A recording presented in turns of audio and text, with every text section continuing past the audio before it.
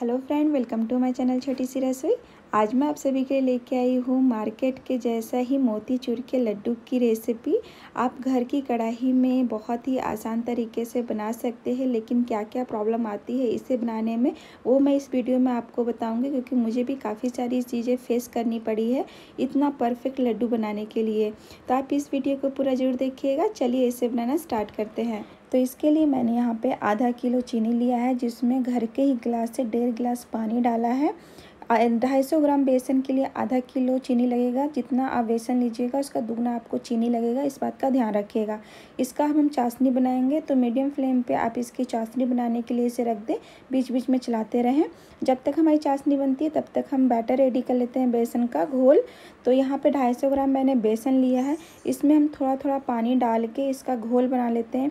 यहाँ पर ध्यान रखने वाली बात यह है कि बेसन आपका बारीक वाला एकदम होना चाहिए, मोटी वाली नहीं होनी चाहिए। इसको हम अच्छे से मिक्स करेंगे। इसमें कोई भी लम्स नहीं रहना चाहिए। इसमें लगभग तीन सौ के आसपास पानी गया है। आपको थोड़ा बहुत कम ज़्यादा लग सकता है। इसका बैटर हमें ना ही बहुत ज़्यादा गाढ़ा, ना ही बहुत ज़्यादा पतला बनाना, बिल्कुल इस तरह का बैटर होना चाहिए। इसके बाद हम अपनी चाशनी को देख लेते हैं। तो चाशनी भी लगभग छः सात मिनट तक पक गया है। ये रेडी हो गया है। इसमें कोई भी तार हमें नहीं चाहिए। और अगर आपकी चाशनी गंदी है तो इसमें थोड़ा सा दूध डाल के साफ़ कर लें। उसके ऊपर का जो भी गंदगी रहेगा उसे निकाल के हटा लें। चाशनी में बस हल्की सी चिपचिपाहट होनी चाहिए, इतना ही आपको ध्यान रखना है। अगर ज़्यादा चाशनी पक जाएगा तो आपका जो लड्डू है उसमें ठंडा होने के बाद जम जाएगा चीनी, जो खाने में अच्छा नहीं लगता है। अब हम इसमें डाल देंगे फ़ूड कलर तो आप कोई भी कलर डाल सकते हो ऑरेंज कलर या येलो वाला जो भी लड्डू बना रहे हो। अच्छे से मिक्स करें और गैस को बंद करके चाशनी को अलग साइड में रख दें। हमने कढ़ाई लिया है तो घर का जो भी सबसे बड़ी कढ़ाई है उसे ले लें और इसमें मैं एक किलो घी डाल रही हूँ। घी आप घी या तेल जो भी यूज़ कर रहे हैं, उसको थोड़ा ज़्यादा डालिएगा, तभी बूंदी बहुत अच्छे से बनेगी।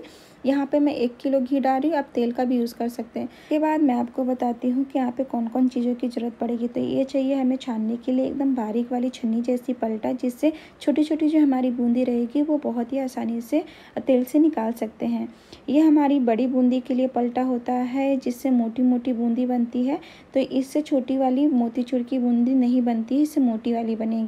और ये होता है हमारा ज़ीरो साइज़ का, जिससे मोतीचूर की जो छोटी छोटी होती है, बूंदी वो बनती है। लेकिन इसमें भी बहुत सारी गलती कर देते हैं, जिससे इससे बड़ी बूंदी बन सकती है। ये बहुत हैवी होता है, मार्केट में मिल जाता है तो आज मैं इसी से बनाऊँगी। तो यहाँ पे और भी बहुत सारा सेटिंग करना पड़ता है तो कढ़ाई से ऊँचा आपको डब्बा और कुछ भी रखना रहेगा। यहाँ पे मैं नीचे केक का मैं मोल्ड रख रही हूँ, उसके ऊपर एक डब्बा रख रही हूँ। और इसके ऊपर हम अपने पलटे को रखेंगे, छन्नी को, और उसको इस तरह से ठोकेंगे। इसके बाद हम बनाते हैं तो हमारा जो घी है वो गर्म होना चाहिए और मीडियम फ्लेम पे गैस को रख दे और इसको इस तरह से पलटे। तो यहाँ पे एक ही साइड के बूंदी वाले से आप कई तरह के बना सकते हैं। जैसे ये मेरा बहुत बारीक वाला, लेकिन मैं बहुत धीरे धीरे अभी इसको ठोक रही हूँ। तो इसके थोड़े से बड़े साइज़ के बूंदी बनेंगे, क्योंकि पहली बार में आपको डर लगेगा। कि हाँ किस हिसाब से ठोकना है। तो ये देख रहे हैं थोड़ी सी बड़ी बूंदी बनी है तो ये गलती आपके साथ में भी हो सकता है। और दूसरी बार में मैं यहाँ पे दिखा रही हूँ कि मैंने थोड़ा सा और दम लगाया, फटाफट मैंने ठोका तो इससे थोड़ी सी छोटी बनी है। यहाँ पे ठोकना बहुत ज़्यादा एक टेक्निकल तरीका है कि आपको किस तरह से इसे ठोकना है। इसकी भी बूंदी गोल गोल बनी है, लेकिन थोड़ी सी बड़ी बनी है, देख सकते हैं। लेकिन तीसरा जो तरीका मैं आपको बताऊँगी, उसी से आपकी बूंदी एकदम बारीक बनेगी, जैसे मार्केट में बनती है। आपको सबसे ज़्यादा बूंदी बनाने में इस पलटे को किस तरह से ठोकना है, वो जानना ज़रूरी है। तो यहाँ पे इसको किसी को बोले पकड़ लें, जिस पे भी आप इसको ठोक रहे हैं, जैसे मैंने डब्बा को पकड़ने के लिए बोला है, उसके बाद अच्छे से ऊपर नीचे करके मैंने इसको ठोका है। मतलब काफ़ी अच्छे फोर्स से मैंने इसको ठोका है। तब जाके इतनी बारीक बारीक बूंदी बनी है। देख रहे हैं किस तरह से मोती की जैसी गिर रही है। और बहुत ही बारीक बनता है। इस बूंदी को आप अच्छे से फ्राई कर लें जब तक ये क्रिस्पी ना हो जाए। उसके बाद आप इसे निकालें। तो इसी तरीके से आपको बूंदी को बनाना है। आप देख रहे हैं बूंदी कितनी छोटी छोटी बनी है। जितने फोर्स से मतलब आपका जो पलटा ऊपर नीचे होगा और हाइट भी एक अच्छी रखिएगा, तभी आपका बूंदी इतना अच्छा बनेगा। मेरे दो केक के मोल्ड लगे थे, उसके बाद मैंने डब्बा डाला है। इसके बाद और अच्छे से पकड़ने के बाद मैंने फोर्स से इसको ठोका, तब जाके उतनी बारीक बनी है। ये हमारा पहला वाला था, जिसमें मैंने हल्का सा कम फोर्स से ठोका था तो इतना गोल गोल भी नहीं बने थे। दूसरे बाद में थोड़ा सा मैंने फोर्स लगाया तो अच्छे गोल गोल बने, लेकिन उतनी बारीक नहीं बनी। जितनी मार्केट में होती है। और ये तीसरा तरीका जिसमें अच्छे से हमने उसको फोर्स के साथ में ठोका और ये देख रही कितनी मोती जैसी छोटी छोटी बनी है तो ऐसे आपको बनानी है। अब हम अपना चाशनी ले लेंगे तो चाशनी को हम गरम करेंगे क्योंकि इस बूंदी को भी अब पकाना ज़रूरी होता है, वैसे ही नहीं बनता है। जब चाशनी गर्म हो जाएगी, उसके बाद हम इसमें थोड़ा थोड़ा करके अपने बूंदी को डालेंगे और इसको मिक्स करते जाएँगे। कलर आपको पहले इसमें नहीं आएगा। जैसे जैसे ये पकेगा, वैसे वैसे इसका कलर चेंज होगा। आप इसे लो टू मीडियम फ्लेम पे पकाइएगा और इसको कंटिन्यू चलाते रहिएगा। इसीलिए मैंने आपको बोला था कि चाशनी को बहुत ज़्यादा पहले नहीं पकाइएगा, क्योंकि इस टाइम पे भी ये चाशनी पकती है। अगर पहले से ज़्यादा पकी होगी तो आपका जो चीनी है वो ज़्यादा पक जाएगा, जिसके कारण आपका जो लड्डू है उतना ज़्यादा जूसी नहीं बनेगा। जब ठंडा होने के बाद उसमें चीनी जमने लगेंगे, वो थोड़ा हार्ड बनेगा। तो ये गलती आपको नहीं करनी है। आपको अच्छे से ध्यान रख के पकानी है इसे। देख रहे हैं, कलर चेंज हो गया है, हल्का सा ये जूसी जूसी जैसा दिख रहा है। अब हम गैस को बंद कर देंगे। इसके अंदर जो भी बचा हुआ चाशनी है, वो बाद में और पी लेगा।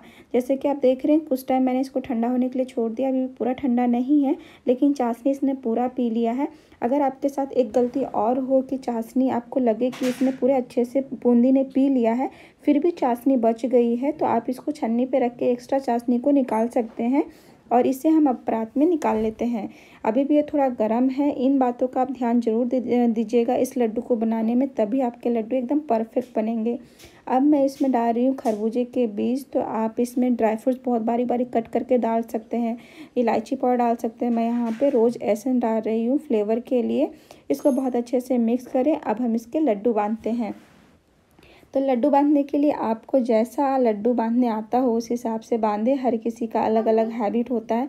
पहले मैं एक मुट्ठी में ली, उसको थोड़ा बाइंड किया। उसके बाद मैं दोनों हाथों से इसको राउंड शेप दे रही हूँ। और उसके बाद मैं एक हाथ से थोड़ा सा घुमा रही हूँ, जिससे जहाँ पे भी थोड़े ऊपर नीचे रहे, वो अच्छे से राउंड हो जाए। तो इस तरह से मैं लड्डू बनाती हूँ। देख रहे हैं, एकदम मोती जैसे चमकीले लड्डू बने हैं ये। और आपको भी इसी तरीके से सभी लड्डू को इक्वल साइज़ में बनाना है, एक जैसे साइज़ में बनाना है। ये लड्डू मार्केट से भी ज़्यादा अच्छी बनी है, ये गारंटी है। बस जो जो मैंने बातें बोली है, उसको आप ध्यान में रखिएगा, क्योंकि मैं भी एक नॉर्मल हाउस वाइफ हूँ। और मेरे से अगर ये बनी है तो आपसे भी ये ज़रूर बनेगी। बस उस पलटे को किस तरह से पटकना है, वो बस आपको आ जाए। इतना ही आपको करना है। उसके बाद सभी चीज़ें बहुत आसानी से हो जाती है। तो इसी तरह से मैंने सभी लड्डू को बना के ले लिए हैं। ढाई सौ ग्राम बेसन में लगभग हमारे एक किलो के आसपास से लड्डू बना है। थोड़ा ज़्यादा ही बनेगा, कम नहीं बनेगा। इसको मैं आपको तोड़ के दिखाती हूँ। कितना ज़्यादा सुंदर है। अंदर से बिल्कुल मार्केट जैसा है ना तो इसे बनाइए और खाइए। तो अगर आपको मेरी रेसिपी पसंद आई हो तो लाइक ज़रूर कीजिएगा कमेंट ज़रूर कीजिएगा सब्सक्राइब करना बिल्कुल भी नहीं भूलिएगा बेल आइकन को भी ज़रूर दबा लें, जिससे मेरे वीडियो का नोटिफिकेशन आपको सबसे पहले मिले।